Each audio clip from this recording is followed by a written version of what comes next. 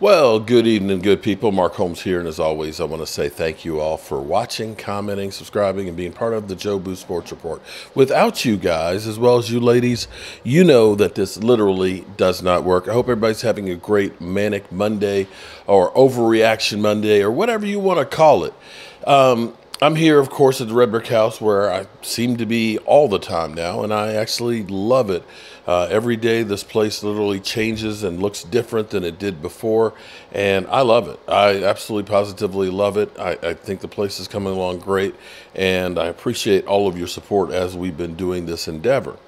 Um, I have many, many loves in life, and one, of course, is the Dallas Cowboys. And trying to keep the record straight. The original reason why I started doing social media was at back basically about 15 years ago because things that I kept hearing about with Tony Romo were always wrong. They would always say Tony Romo was a choker and can't win the big one and so on.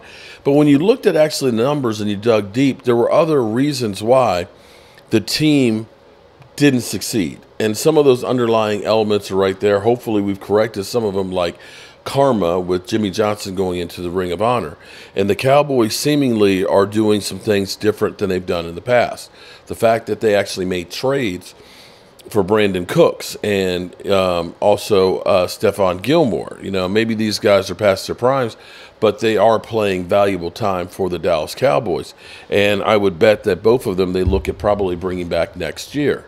Um, the fact that we're bringing in Shaq Leonard um, tomorrow uh, for trying out, this may be the big one that you look at and say, you know, he may not be a big player, but it's a, for the first time, you're seeing the Cowboys decide we need to look outside of the place of just our, our, our, our players that we believe in for some extra help to try and make a run.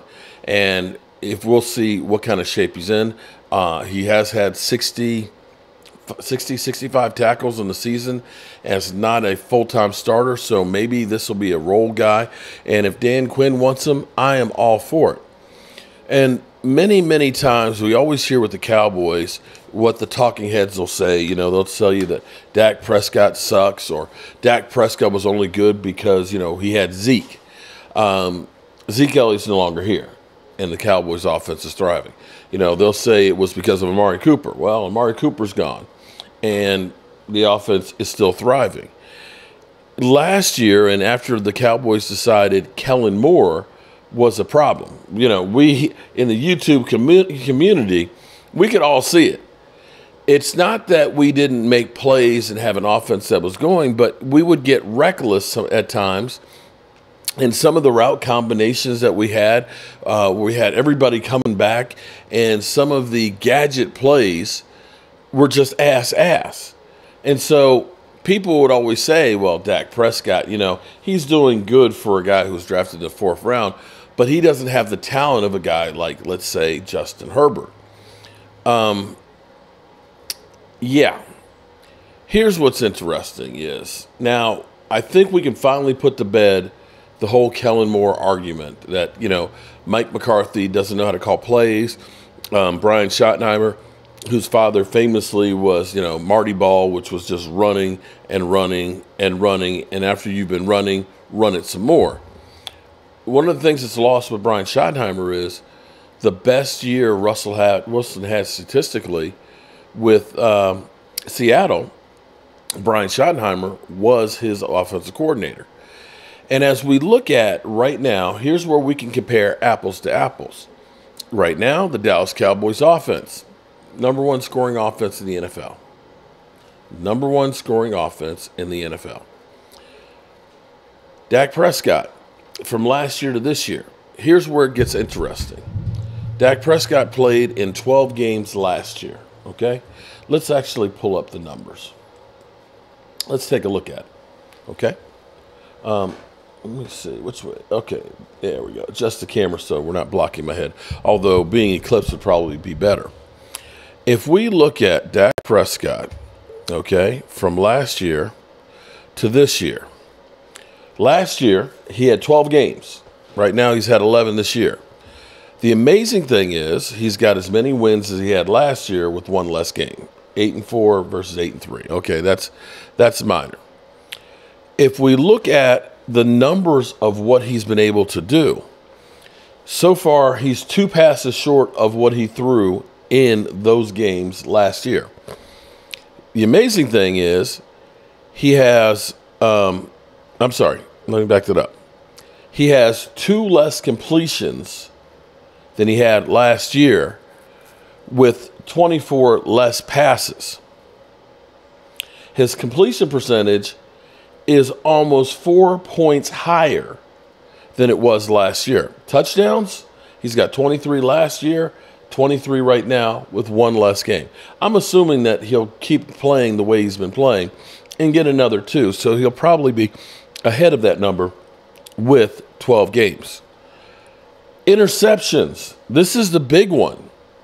He's got nine less interceptions than last year. His TD percentage is up from 5'8 to 6'2. His interception percentage is more than cut in half from 3'8 to 1'6. So as we look at this, as we look at this, it's pretty freaking insane to look at the numbers and say, well, Mike McCarthy doesn't know how to coach. Now, while I'm here, let's do this real quick here. Let's see. Justin, oh, for some reason we're not responding. Okay, let's try this. Let's reset it. Um, just bear with me for a second here. Computer's acting slow today. I was going to compare him to Justin Herbert, uh, numbers wise, because uh, let's just start over.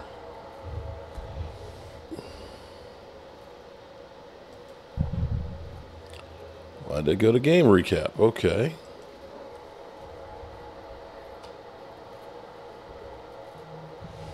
Okay, let's pull it up real quick again. I just want to compare Justin Herbert, who they said is a much better quarterback than Dak Prescott. He's got all the talent in the world, and now he has the boy wonder as an offensive coordinator.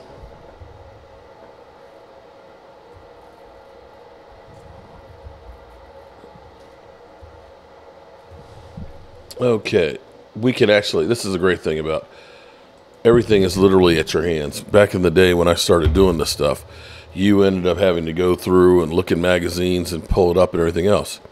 So head to head, regular season numbers.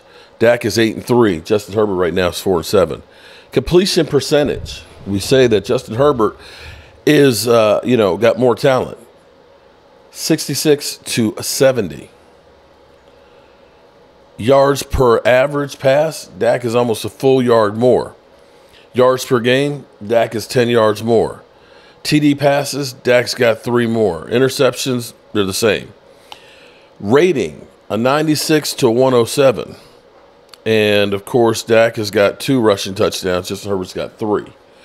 So we were told, we were told by everybody that Dak Prescott isn't as good as Justin Herbert. Now, they played each other twice. Dak Prescott's got both of those victories. You talk about playoffs.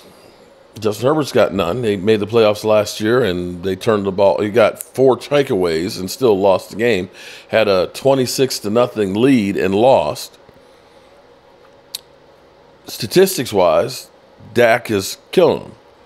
But people to a man will still say, I'll take Justin Herbert. Well, here's what's cool. Here's or here's where you can look at it and say, apparently Kellen Moore isn't the boy wonder that we thought he was because Justin Herbert's numbers are way down from where they were before Kellen Moore got there. Dak Prescott's without Kellen Moore are substantially, substantially, substantially, yeah, what she said better than when Kellen Moore was here. So, if anything, Kellen Moore was holding back Dak Prescott. Just look at the numbers here, and I know what it'll be. Now it'll be, well, without Mike McCarthy, you know, that it's because Mike McCarthy's calling plays. It's not Dak Prescott.